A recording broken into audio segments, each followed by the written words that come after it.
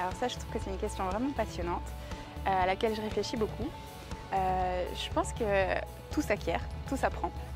Euh, mais qu'à la base, il y a quand même eu la nécessité d'avoir une grande appétence pour la différence, pour ce qui est inconnu, pour comprendre, voilà, et une curiosité en fait, naturelle, je pense. Naturelle si, si je puis dire, parce qu'elle peut être aussi développée, la curiosité. Euh, après, je crois que c'est vraiment dans les situations, dans les environnements que je peux développer ces compétences.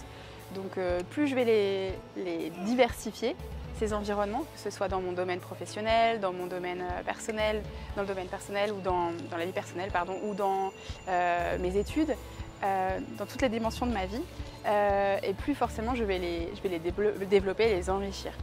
Donc ces compétences, voilà, je peux les acquérir dans des, situations, dans des environnements qui vont m'aider à les développer dans des environnements multiculturels et interculturels. Et plus je vais aller vers l'autre, vers la différence, et plus je vais euh, les développer.